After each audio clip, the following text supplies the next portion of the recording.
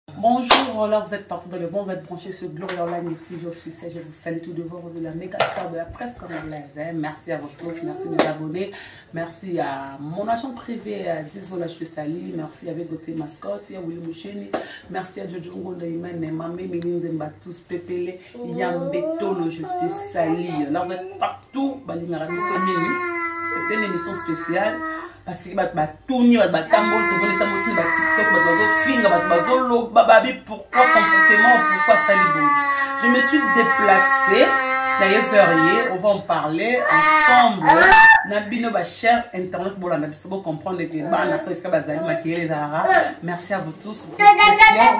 marque yango ngai naye ferie merci beaucoup ya tout le monde bato nyonso bakozwa émission oyo oyo bakokonsome yango bokonsome yango bapage nyonso le news de star marie lau mwaka je te salie merci à tout le monde balingaka biso je suis avec grace mbis la sexy na résidence na ye mama pavio na mibengaka mama pavio tokoki koluka ye par rapport à émission asalaki dernièrement bato balobi pourquoi grâce aosaka comité congolais soni pourquoi grâce alobaka babilo mo c'est comme ça azo réfléchi te azolobaka mpo sepelisa bato mekokende monde entier tosolola na grâce ya lelo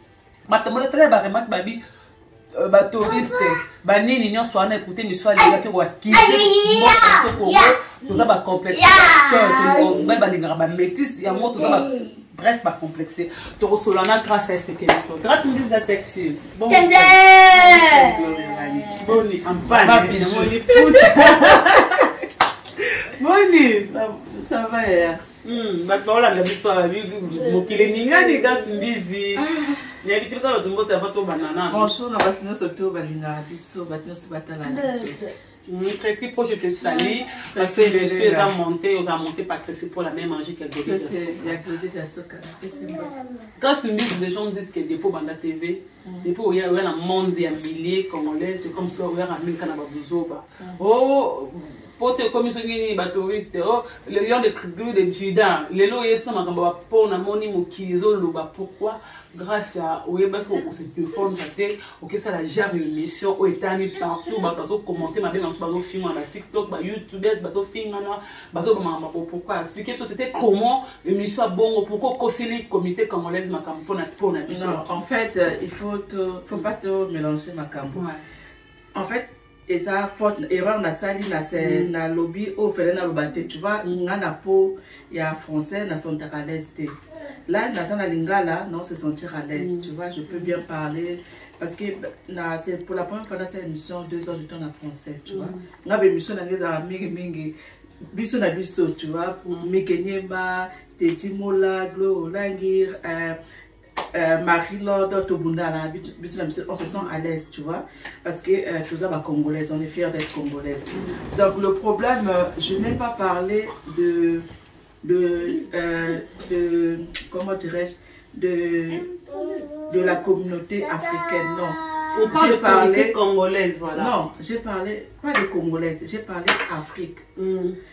je, je voulais parler en fait nalingaki nasolola makambo ya loposo olingi oloba ni explique voilà nalingaki naloba en fait ngai nde na, na confort nasali erreur eloko nalingaki naloba uh -huh. teinture. Je voulais parler de notre teinture, en fait, euh. notre peau. Et ben, même, dans la main qui n'a pas notre euh, euh, communauté, ou bien nous, les, mm. les Africains, non. je ne voulais pas, pas parler des africains je voulais parler de notre peau en fait tu vois je voulais parler euh, ya poso na biso mm. donc okozala euh, marron osokoli kaka poso no kaka okomi nete euh, euh, moi tel clair voilà donc je voulais parler de la peau en fait la peau a rien à voir avec la communauté africaine Hmm, donc voilà sikoyo leo nesaki obake nous sommes des complexés mwa mwa complexe ekotaki na pourquoi te ngai peut-être nalobi yango nde bato mosusu bacomprendre euh, là où euh, nalobi yango so aza place ya mindele naloba yango place wana moi rachel tu te calme chérie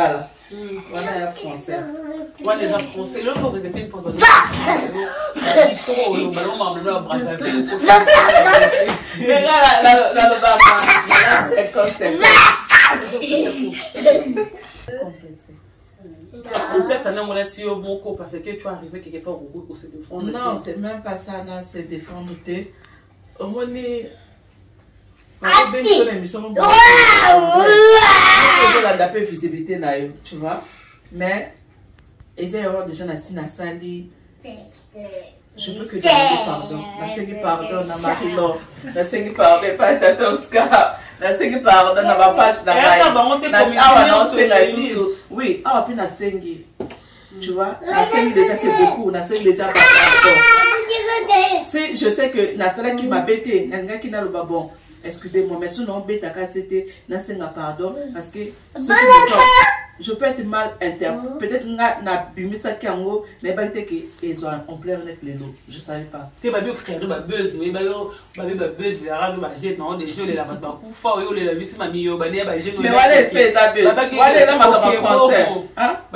opo oyo moko oyebaki osuka bongo ntango oyebaki deja mais biso moko lelekando oyebaki ntango tokende émission wana deux heures du temps na français toyebaki kake français eza langue nanga te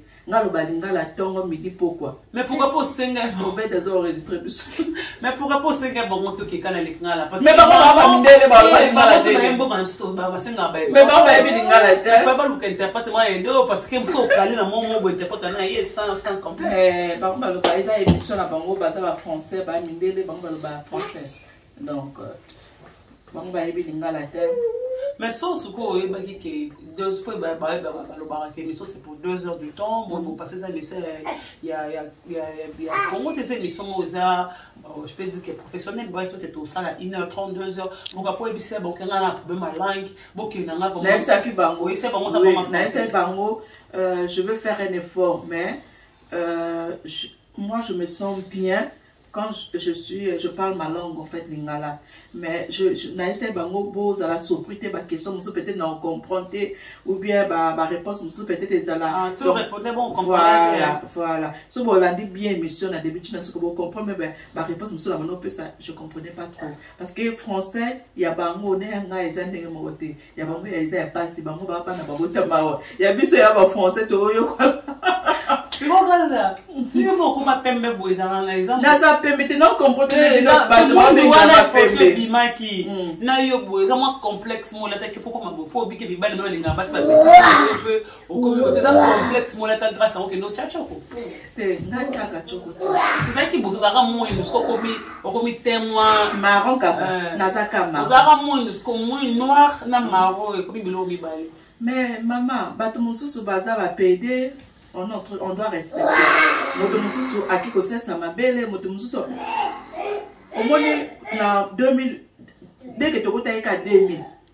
2001 2002 2003 technologie echangeaki déjà bato mosusu ake kosalisa zolo on doit respecter son choix bato mosusu donc mikolo ekoma bongo moto mosusu problème eza te nga asalisa zolo te mais nasalisa libele oui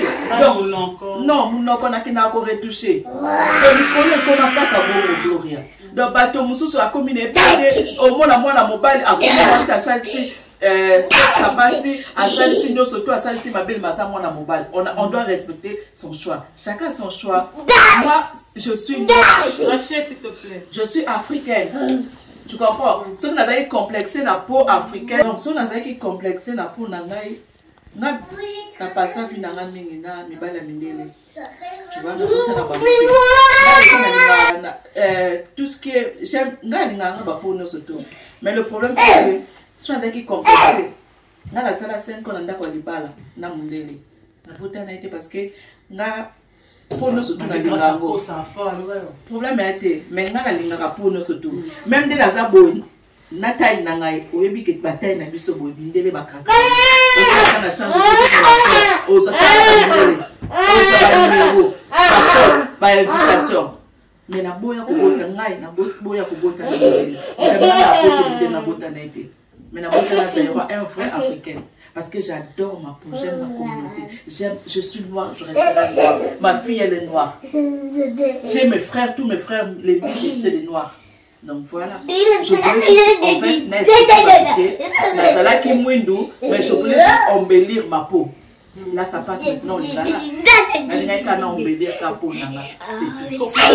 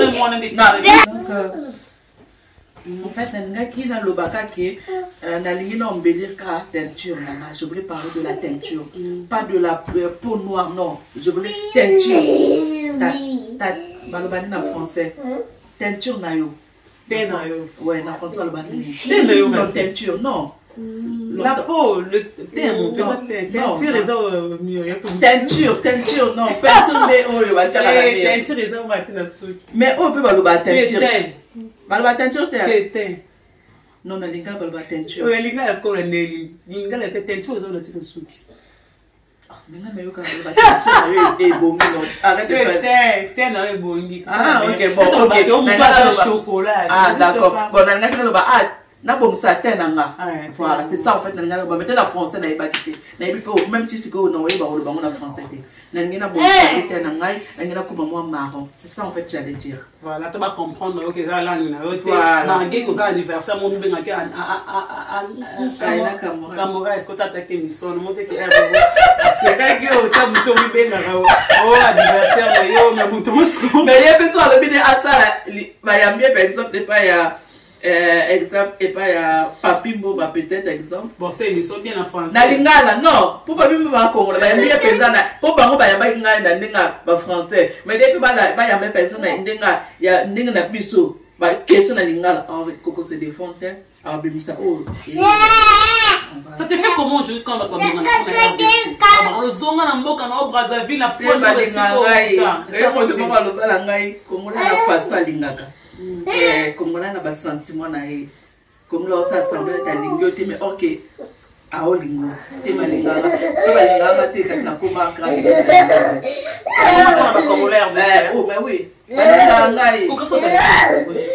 naza sangaibale mama aza papa papa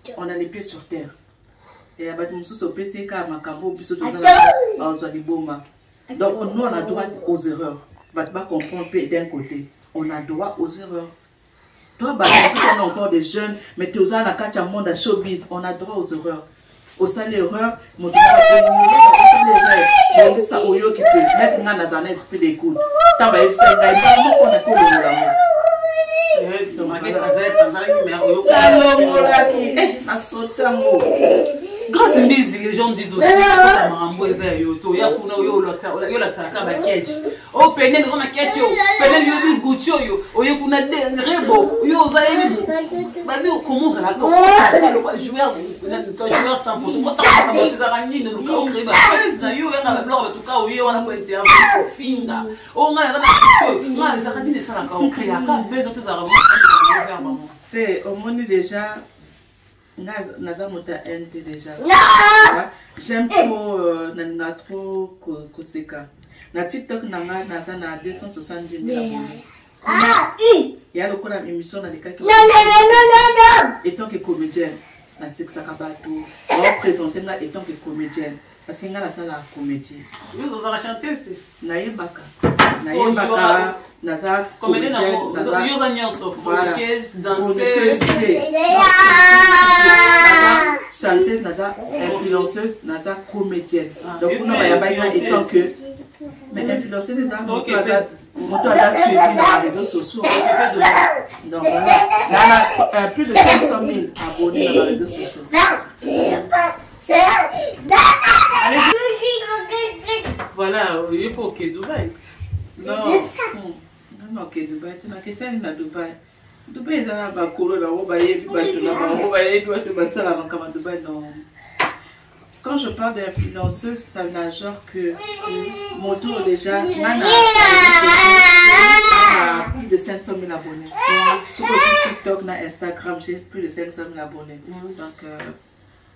awa nalobi likambo ya impacte bato balobi batie yango na bamindele batie bacongolais mpe batie bapage to bainstagram batie batiktok donc parce que naza influenceuse mm. soki nazaki mwana mama na biso na ndako na biso mm. engaki esa makambo ya boye te nampala voilà c'est un peu ça grâce busy son ezobima kala te eza titre nini euh, on va danser ezobima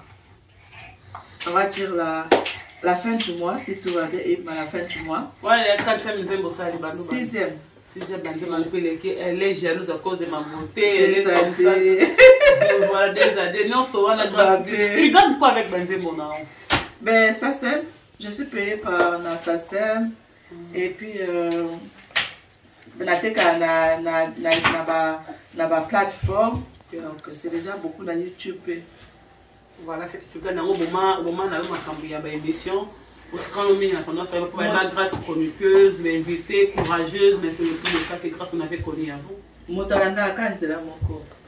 voilà là déjà na, na, na, je suis maman ok mm. je suis maman avant j'étais pas maman là je suis maman avant de sortir fona kipe ndako na nga Tu vois? avalaolamokimamokeiozosala bemiso ozolanda bemite mais là préférence nanga ekoma naa na tiktok nasali comédi nasali euh, makambo na ngai comédi na ngai na sina nakenda mpe nasali makambo na ngai donc euh, voilà c'est déjà beaucoup nga mpe na facebook fo na nourrir donc ba page na nga déjà il faut ozala tout le jour permanent o nourrir ba page donc il faut o ozala tout le jour na tiktok na instagram snapchat il faut osala ozala tout le jour donc olekisa ata deux jours te donc c'est beaucoup je peux pas tout faire voilà grâce ne sont pas arrivé à la fin dernière question grâce au bota sous te bota mais pas maintenant na je dois prendre mon temps mwana fois kola mpenza